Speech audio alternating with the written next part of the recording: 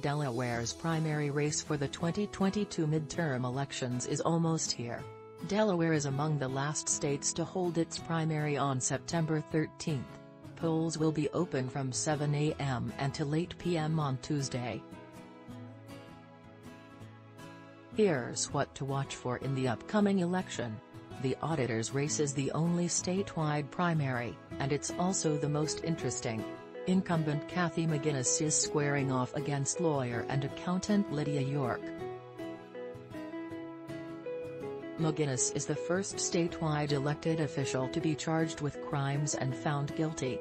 She has denied any wrongdoing and has told voters she's the victim of an unfair, political prosecution.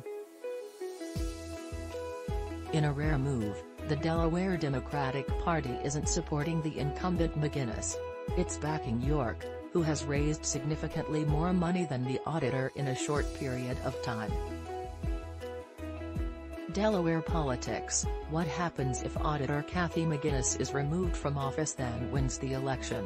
Things could get complicated, and weird, if McGuiness wins re-election. Governor John Carney said he would not consider removing McGuiness until she is sentenced, which has not happened. It's unclear what the governor will do if Delaware Democrats vote to keep McGuiness in office. Though every General Assembly lawmaker is up for re-election this year, not everyone has a primary challenger.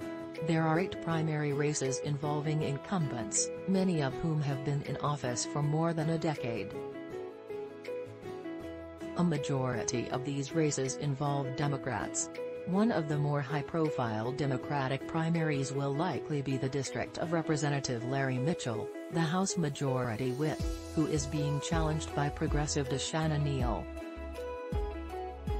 Another race to watch involves Senator Colin Bonini, a conservative Dover Republican who has been in office for nearly 30 years.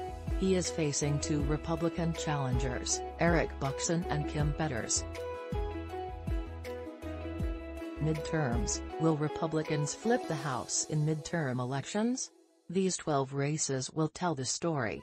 Two Wilmington lawmakers, Reps.